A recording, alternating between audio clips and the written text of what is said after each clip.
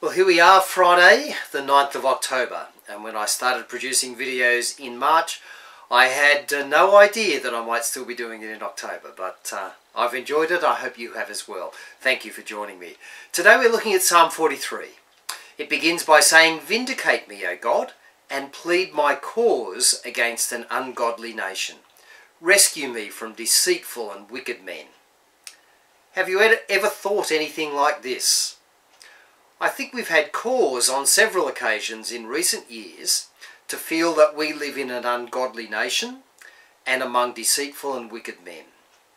Well, the psalmist calls on God to vindicate him. Vindicate me, O God. And the word vindicate is a legal term calling for judgment.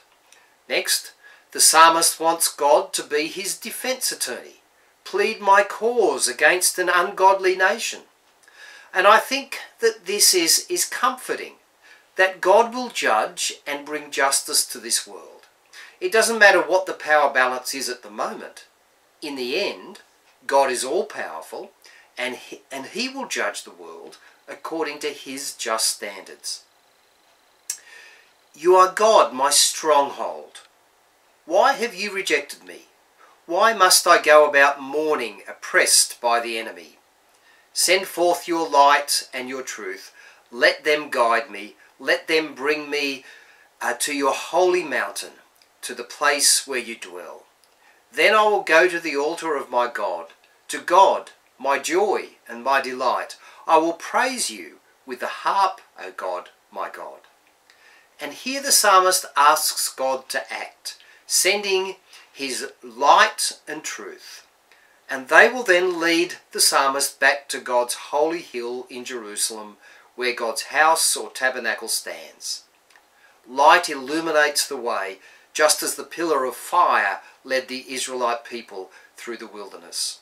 And truth defines the way or is the way itself.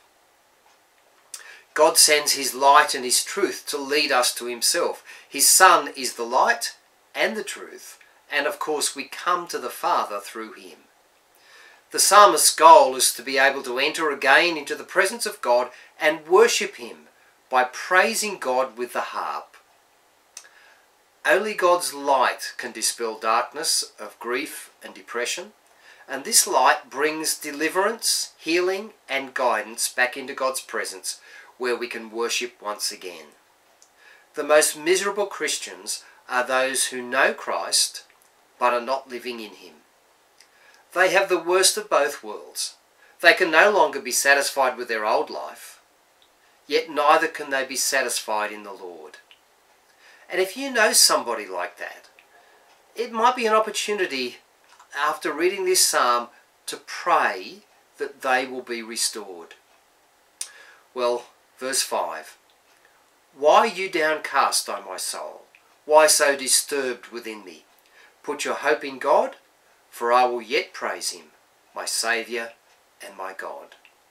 This psalm concludes the, with the same words as Psalm 42. And I hope that you can own those words. Why so downcast, O my soul? Why so disturbed within me? Put your hope in God, for I will yet praise him. That's our hope. Have a great weekend. Bye for now.